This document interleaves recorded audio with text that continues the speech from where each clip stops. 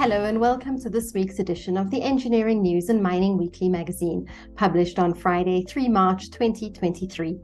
In this week's cover article, Engineering News and Mining Weekly Senior Deputy Editor Irma Venter reveals that the Gautrain Management Agency has started the process to appoint a new concessionaire.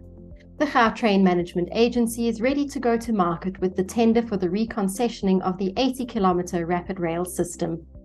The engineering news features focus on steel, where a local company supplied steel for the first ever Cape Town EPRI.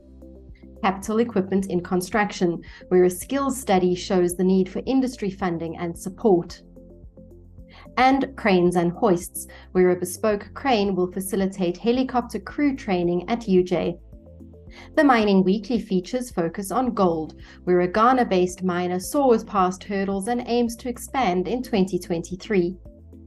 And environmental protection, where the International Council on Mining and Metals works towards nature positive mining.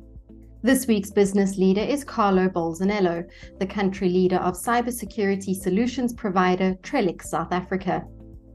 And as this week's cartoon shows, even without the early departure of Andre de Ruyter, the Eskom board would have always struggled to find a permanent replacement before the end of March.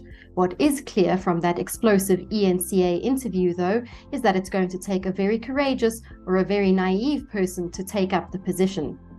We hope you enjoy this week's edition of Creamer Media's Engineering News and Mining Weekly. Be sure to subscribe to the magazine that offers you in depth news about developments in the real economy by emailing subscriptions at engineeringnews.co.za. Enjoy the read and see you next time.